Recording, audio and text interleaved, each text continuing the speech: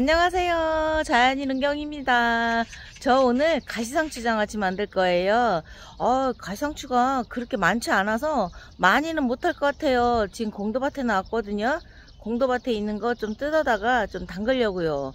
아, 올해 안성에 가시상추가 그렇게 눈에 띄질 않아요. 어려움이 많아요. 저 들나물 발효액도 못 담갔거든요. 그래서 어, 작년에 담근 거 그냥 먹어야 될 것 같아요.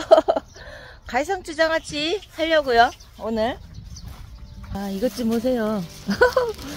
와, 생각보다 좋은데요? 많지는 않아요. 이렇게 잘라주면 또 곁순이 나오니까요. 이 가시상추 뜯을 때 요요 하얀 진 조심하셔야 돼요. 제가 이런 거 잘 몰라가지고 옷을 많이 버렸거든요. 물들어서. 이 하얀 진이 옷에 묻으면 물, 안 지워져요. 와, 다행이다. 장아찌 만들 정도는 돼요. 와, 좋은데? 생각보다? 여기 요거 보세요. 요거 자르면 요 곁순이 엄청나거든요. 위에 막 잘라서 먹어야죠. 어, 곁순 좀 봐. 세상에. 곁순도 벌써 이렇게 컸어요.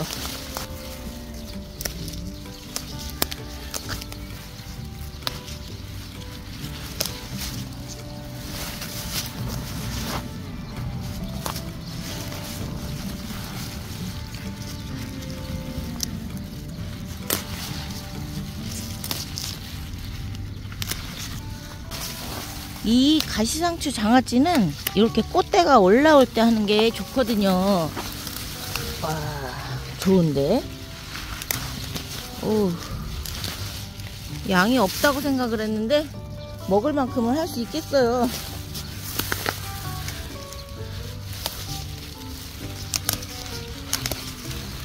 와, 대박이다. 아, 가시상추 향 너무 좋아. 와 이제 가시상추가 가시가 좀 도드라졌어요. 그치만 먹는데 지장 없어요. 아 세상에. 좋다. 기대도 안 하고 왔는데. 아 왜 안성에 올해 가시상추가 없을까요? 노는 맛이 없어서 그런 것 같아요 아무래도. 이야. 아이고, 풀 속에 갈상추가 파묻혔네. 아, 이게 그건데. 갈키 덩굴. 까실까실해요.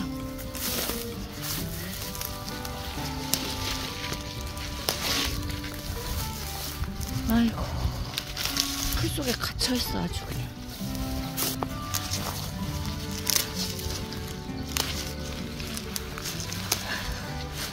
아, 곁순이 어마어마하게 올라오네요.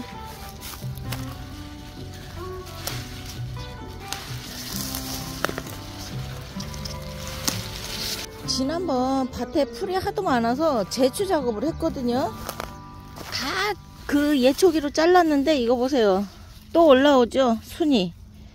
아, 여기서 꽃이 피는 거죠. 종족 번식에 문제가 없어요. 계속 나오네요 어떻게? 아, 너무 좋아 세상에 시래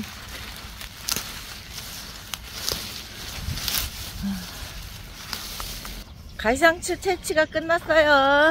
농막밭으로 갈 거예요. 와 향 너무 좋아. 가시상추 뜯어온 거 다 씻었거든요. 해볼게요. 일단 간장물을 만들어야죠. 간장물은 1대 2로 할 거예요. 간장이 1이면 물은 2죠. 그렇게 할 거예요. 자, 간장을 요만큼 넣을 거예요. 그리고 물을 그만큼 넣어야죠. 자.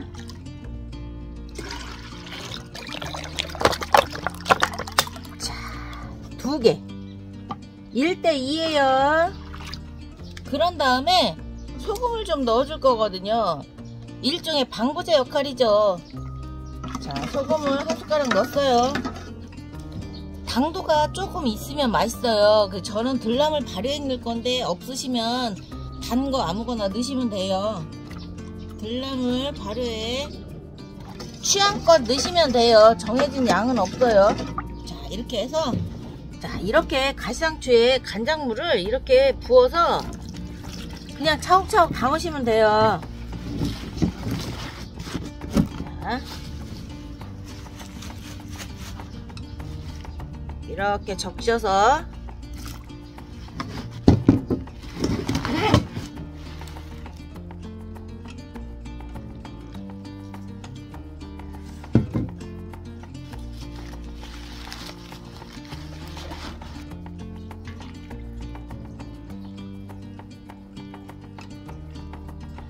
가시상추 장아찌 간장물을 이렇게 자작자작 부었거든요. 이거 좀만 시간 지나면 또 푹 줄어요. 이거 내일 정도 하루만 있다가 요 가상추에서 이제 절어서 물이 나오거든요. 끓여서 팔팔 끓여서 살짝 식힌 다음에 다시 넣어 두시면 돼요. 그리고 냉장고에 보관하셨다가 한 일주일 정도 지나면 바로 드셔도 돼요. 만약에 식초 들어간 게 좋으시면 여기다가 식초 넣어서 바로 드실 수도 있어요. 그렇지만 저는 식초는 안 넣었어요. 왜냐면 이거는 새콤달콤 장아찌가 아니라 들기름에 쪄먹을 거거든요. 나중에 깻잎처럼. 자, 이렇게 내일 간장물 끓여서 냉장고 보관하시면 돼요. 가시상추 장아찌 이렇게 끝난 거예요. 냉장고 넣어둘게요. 오늘 한 가시상추 장아찌는 일단 냉장고에 들어갔고요. 이거 작년에 한 거예요. 작년에 한 걸로 요리를 한번 해볼게요.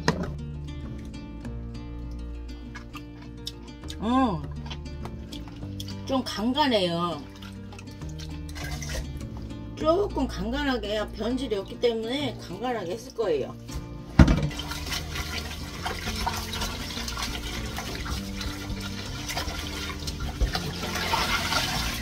간상추 장아찌를 물에 두 번 정도 헹궈서 간장기를 아예 없앴어요. 자, 간상추 장아찌를 찔 거예요. 들기름 넣고. 근데 이렇게 파강에 말듯이 이렇게 해주면 더 예쁘고 먹기도 좋거든요. 자, 이렇게 하나씩 다 돌돌 말아볼게요. 번거로우시면 그냥 하시면 되고요.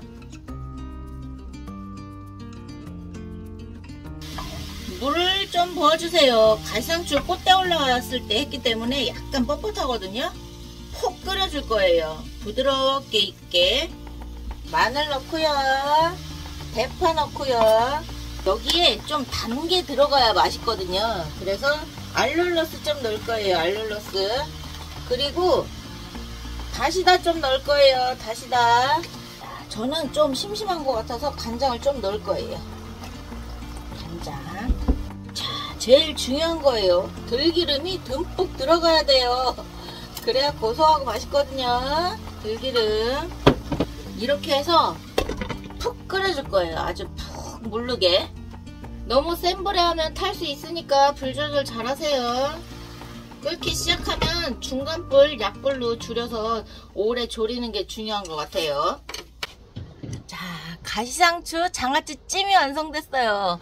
깻잎찜 해서 드시죠? 그거랑 느낌이 비슷해요. 찜이에요, 찜. 장아찌 찜. 근데 이게 완전 밥도둑이거든요.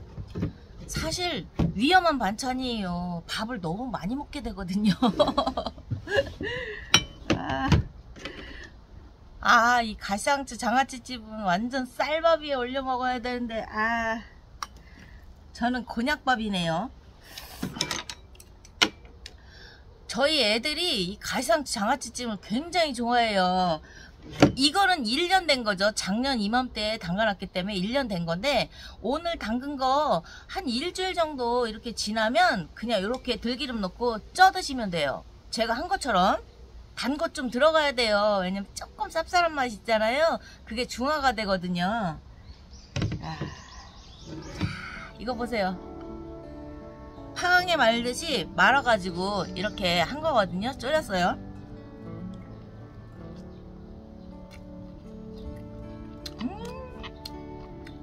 와, 와 너무 맛있다 진짜. 와, 조금 아쉬운 거 있어요. 쌀밥. 음, 쌀밥에 올려 먹어야 되는데.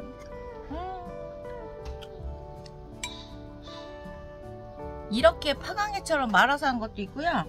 이렇게 그냥 길게 이렇게 쪄도 돼요. 먹- 먹는데 불편함만 없으면 돼요. 음. 음. 대박. 아, 우리 제이가 엄청 맛있다고 하겠다. 오랜만에 한 거거든요. 오늘 이 가시장추 장아찌 하면서 보셨죠? 레시피. 간장 하나에다가 물 두 개 넣고요. 그리고 소금을 좀 넣었어요. 그리고 단 것 좀 넣으시고 간장물에다가 재워놨다가 하루 지난 다음에 그 간장물을 끓여서 살짝 식혀가지고 다시 부어, 부으면 돼요. 그리고서 냉장고 보관해 두시면 되고요. 중간에 좀 불안하다 하시면 또 한번 끓여서 부으면 돼요. 그렇게 해서 오래 보관할 수 있어요. 한번 해보세요, 형아들. 갈상추 장아찌찜. 와, 대박이에요, 대박. 진짜 오랜만에 먹는데 너무 맛있네요.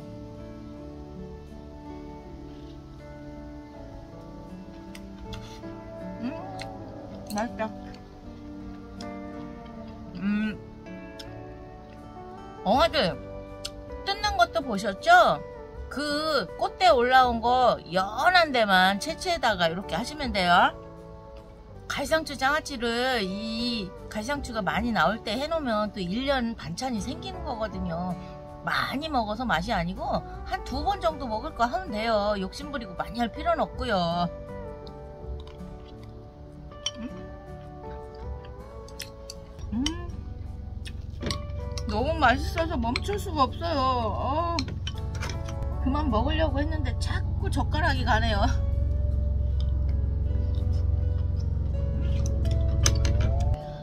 엉아들, 전 오늘 하루도 보람찬 하루네요. 갈상추 장아찌 해놓은 게 너무 든든하네요.